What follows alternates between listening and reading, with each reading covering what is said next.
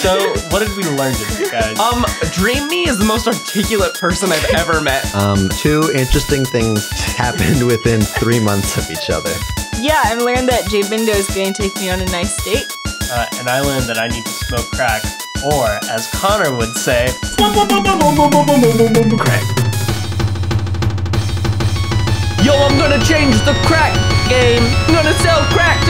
kindergartners. It's sad. It's sad. Yeah. Suck my dick. Suck, suck my dick. Oh, hey, mommy. I make lots of money. Gonna get real high on crack. Hey. You're in the crack game. Put it in the pipe eh? and